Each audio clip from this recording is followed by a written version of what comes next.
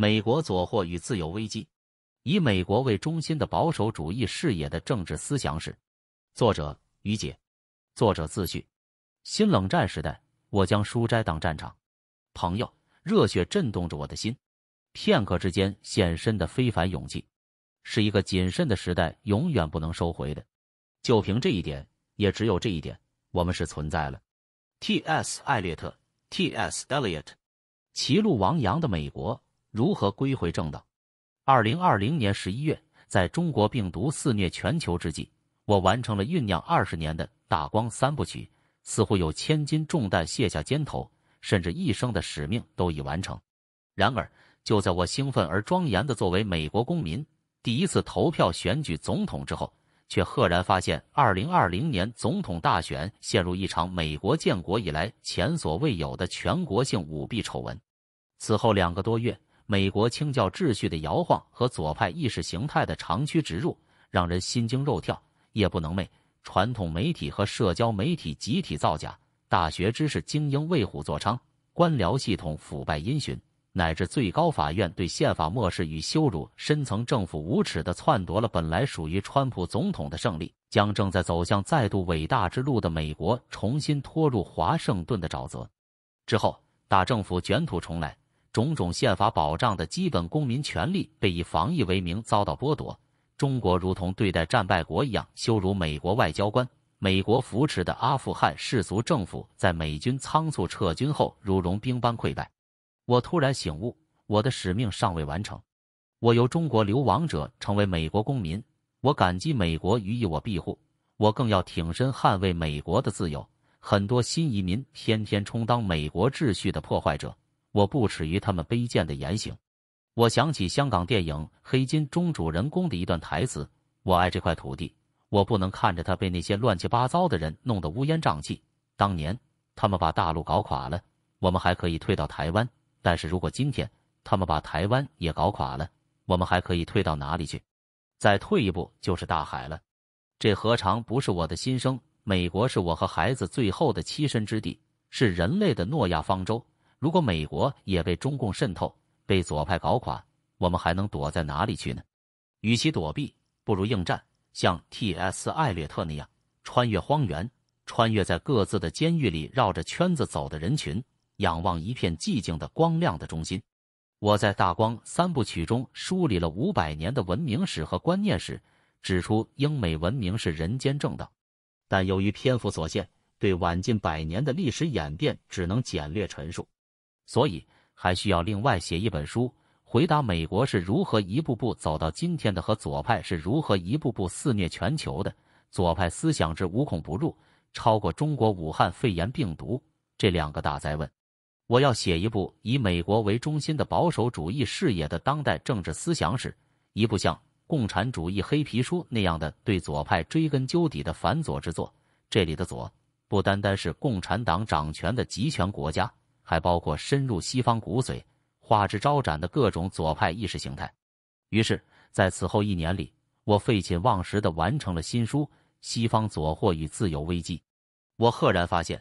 不仅过去学习和接受的中国史、亚洲史是被扭曲的假历史，甚至美国史、欧洲史和西方史也是左派的洗脑工具。重新思考、书写、校正历史尤为重要。此刻，丘吉尔 （Winston Churchill） 在致暗时刻的演讲萦绕在我耳边。一九四零年五月十三日，组成战时内阁的丘吉尔在下议院发表演讲说：“我们面临着极其严酷的考验。”面临着漫长而艰苦卓绝的斗争。若问我们的政策是什么，我的回答是在路上战斗，在海上战斗，在空中战斗，尽我们的所能，尽上帝赋予我们的全部力量去战斗，同人类黑暗、可悲的犯罪史上空前凶残的敌人战斗。今天，人类面临中共集权政府及渗入西方心脏的各种左派思潮的威胁，甚至大过昔日的纳粹。我将写作视为作战。书斋就是战场，我在书斋中打这场思想和心灵的战争。本书第一部进步派、自由派都是左派，写一战时的美国总统威尔逊 （Woodrow Wilson），二战时的美国总统小罗斯福 （Franklin D. Roosevelt），以及如今愈来愈像共产党的美国民主党。威尔逊和小罗斯福是一般意义上的绅士与好人，但其思想意识已被十九世纪末以来的左翼进步主义俘获。人最大的败坏是观念秩序的败坏。他们用进步主义处理国内和国际问题，并形成一整套政策，给美国和世界带来灾难性后果。在美国的历史教科书及人们普遍认为理所当然的论述中，他们伟大、光荣、正确。现在该将他们请下神坛了。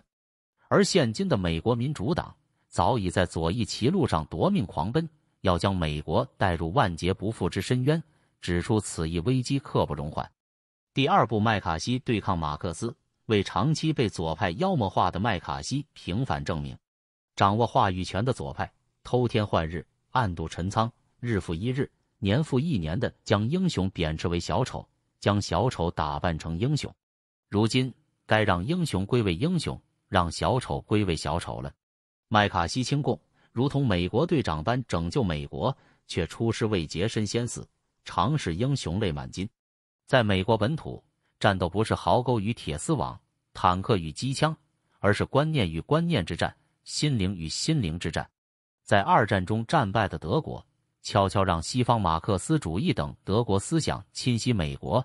上世纪六零年代，以反越战为名的一场文化革命，伴随着艾滋病、性和毒品横扫美国大学校园和知识界，而尼克松和季辛吉的对华绥靖外交。成为中共政权的续命金丹，让中国不仅熬过了冷战，还在全球化时代实现了野蛮崛起，成为美国和美国秩序的首要敌人。第三部《家人与敌人》，马克思当年宣告的那个在欧洲大陆游荡的幽灵，如今已然在美国亲门踏户。在美国内部，从大学、主流媒体、科技巨头到教会，这些美国社会的中流砥柱都被左派严重渗透。一不小心，家人就变成了敌人。在美国外部，美利坚秩序摇摇欲坠。二战之后，美国打造的国际政治经济秩序被中国腐蚀的千疮百孔。二十世纪以来，美国和西方出现过三次绥靖主义高潮：对纳粹、对苏俄和对中国。最后一次绥靖主义仍在持续演化之中。吃过中国大亏的若干亚洲国家醒了一大半，美国醒了一小半。欧洲却还在昏睡。毛泽东当年自称是马克思加秦始皇，今天习近平的中国仍是共产极权主义加天下帝国主义。美国和西方能战胜中国这个前所未有的大敌吗？历史并未终结，只是中场休息。在本书中，我有力的反驳了日裔美国学者福山 （Francis Fukuyama） 的历史终结论。冷战的结束对于美国和西方来说。究竟意味着什么？胜利似乎易如反掌，凯旋当然让人心花怒放。一九九零年代初，福山发表的历史终结论是这种单纯而热烈的乐观主义情绪的典型代表。福山认为，一七七六年美国独立，或一七八九年法国大革命，或黑格尔说的一八零六年拿破仑打败普鲁士，在以上时间节点，人类社会的基本原则已确立。此后，人们所做的只是实现自由民主原则。冷战的胜利证明，作为一个统治体系的自由民主制度的正统性，自由民主已胜过世袭君主制、法西斯主义与共产主义这类相对的意识形态。世界上大部分地区已没有一种伪装普遍的意识形态能跟自由民主竞逐，也没有一种普遍原理比人民主权更具正统性。自由民主政治的成长跟其伴侣经济自由主义的成长相携而行动，已成为四百年来最值得注意的显著现象。因此，自由民主有可能成为人类意识形态进步的终点与人类统治的最后形态，也构成历史的终结。换言之，自由民主已成为人类的普遍史，全世界日益成为一个同治社会。福山是杭廷顿 （Samuel P. Huntington） 的学生。却并不具备老师所坚守的清教秩序。后来，他从新保守主义滑向左翼自由派，不足为怪。他的思想更多来自于科耶夫 （Alexander Kojève） 和列奥·施特劳斯 （Leo Strauss） 的启发。前者是流亡法国的俄罗斯贵族，是黑格尔的是经学家，融合了德国、俄国和法国的哲学传统；后者是流亡美国的德国犹太人。是柏拉图的阐释者。在《历史终结论》中，迷恋黑格尔和尼采哲学的福山对自由民主的具体内涵只是泛泛而谈，将1776年和1789年发生的两个重大事件及其启动的不同历史方向组成一锅粥。不过，他也意识到，美国国内最强固的共同体形态，与其说是合理的私欲，不如说是根植于共同的宗教价值观。定居于新英格兰的五月花号清教徒及其他清教徒的共同体。并不是为了自己的物质利益，而是为了颂扬上帝的荣光。这种共同的关怀而结合为一体。杰斐逊或富兰克林这些推动美国独立革命的洛克式自由主义者，或者像林肯这类热烈信奉自由平等的人，都会毫不犹豫地主张需要信仰上帝。然而，他看到清教徒精神是美国立国根基这个事实，却无法理解清教徒虔诚的信仰和力量的源泉。而将他们视为排他而偏颇的狂信者，福山笃信另一种更纯粹形式的自由主义，即跟宗教传统分割的世俗自由主义。他特别提及最高法院的一个判决，基于非特定教派的上帝信仰可能伤害无神论者的感情，所以不得存在于公立学校。此类判决的结果必然是在宗教宽容的考量下，道德主义和宗教的狂信遭到了挫折。也为向世界所有信仰和价值体系开放的热情，使得信奉某一教义的可能性反而弱化。他赞成此种多元化趋势，却也意识到，在这种处境与知识风潮下，美国共同体生活的劲道会衰退。是自由先于平等，还是平等先于自由？这是左右分野的标志。福山承认这一事实，在民主国家。对平等的热爱是比对自由的热爱更深远也更持久的一种热情。他也看到这一事实背后的深层危机：独立宣言和美国宪法所规定的基本权利被新制定的权利严重削弱，只为了实现更彻底的社会平等化。换言之，如果摒弃基督教信仰和保守主义政治哲学，相信达尔文的进化论以及由此推展出的社会进化论。马列主义史观和左派正义论、平等论，相信尼采说的人只是有生命的烂泥浆。那么，一个自立自主、能为自己创造法则并理性遵守的人，必将沦为一个自吹自擂的神话。最后结果就是艾滋病毒跟人有平等权利，服药杀死艾滋病毒就是破坏平等的秩序。在台湾的环保礁看来，海藻跟人有平等权利，海藻的生命甚至重于人的生命。不能正确认识自己。就不能区别何为他者。福山意识到左派的邪恶，却拒绝基督教传统。靠世俗主义、人本主义不可能战胜自有其神格的左派意识形态。世俗主义必然骄奢淫逸、自私自利，不能形成公民美德和公共精神，也不能锻造出福山所憧憬的勇敢的胸膛。抛弃清教徒传统，必然出现福山所说的最后之人，也即尼采所说的末人。世俗主义不能回答人的尊严和自由为何不能被剥夺，也不能赋予人权以神圣的来源。在此意义上，被视为新保守主义者代表人物的福山，其实是机会主义者和马基维利主义者。此后三十年，他的一系列言论和预测全都错得一塌糊涂，几乎逢赌必输。如果他是一名日本武士，大概早就为此破腹自杀了。历史并未终结。只要还有毛泽东和格瓦拉的崇拜者挥舞红旗，包括作为其变种的安提法和黑命贵，只要形形色色的左派意识形态占据媒体、学校、网络乃至教会，冷战的落幕就不是一场右派对左派的绝对胜利，而只是短暂的中场休息。下半场还有更艰巨的殊死搏斗等着我们。我们为何而战？为家庭，为自由，为国家，为上帝。一个自以为没有敌人的世界。实际上更加危险。一战不是结束所有战争的战争。一战后出现了共产苏俄和纳粹德国两个恶魔。二战也没有实现消灭法西斯的目标。另一种法西斯——共产主义，成为最大的胜利者，席卷数十个国家。冷战结束，亦非福山说的历史的终结。在过于富庶的西方，保暖思淫欲、左翼极端主义思潮蛰伏一段时间后，如艾滋病毒。或中国武汉肺炎病毒一般扩散全球，如入无人之境。整个一九九零年代，苏联这个对手消失后，美国失去了敌人，严峻的安全挑战不复存在，没有动力制定新的安全政策。一九九一年，在华盛顿召开的一次重新思考国家安全的会议，只是表明多数美国人觉得重新思考的问题是多么让人别扭。于是，更大的危机在十年后爆发了。一九八九年柏林墙倒下时，基本没有发生流血事件。人们在柏林墙的废墟旁边载歌载舞，如同一场大派对。二零零一年，纽约世贸大厦遭到伊斯兰恐怖分子劫持的飞机撞击时，造成二百九十六人丧生。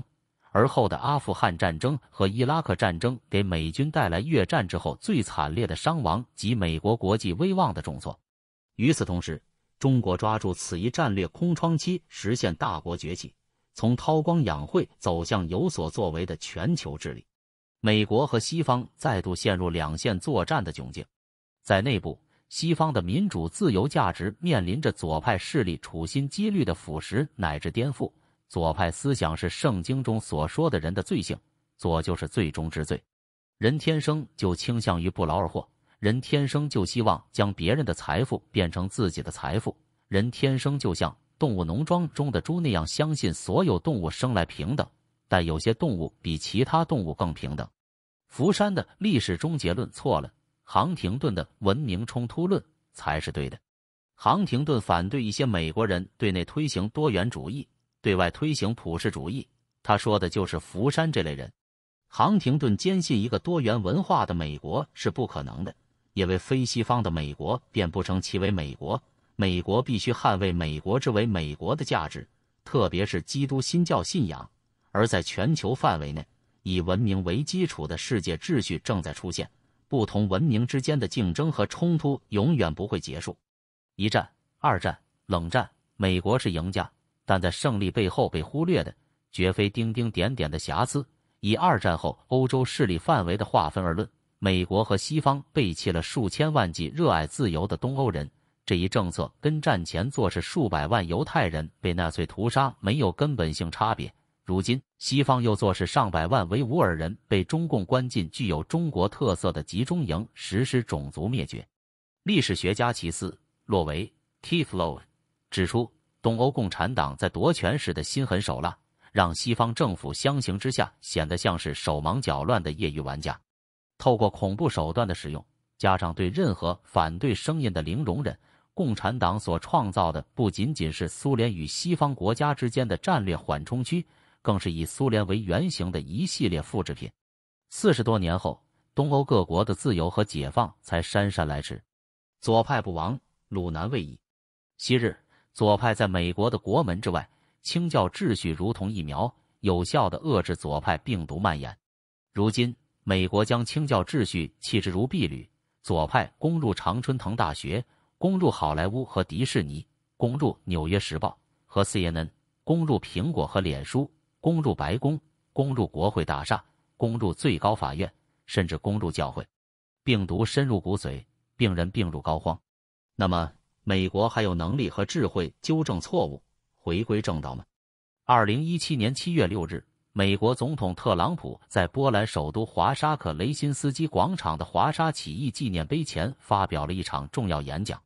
美国前助理国务卿罗伯特·查尔斯评论说：“特朗普的华沙演讲如同里根的柏林墙演讲一样，是其就职以来最具力量的演讲。”川普在这篇演讲中说：“今天我们必须指出，我们的社会和生活方式正在遭受可怕的威胁。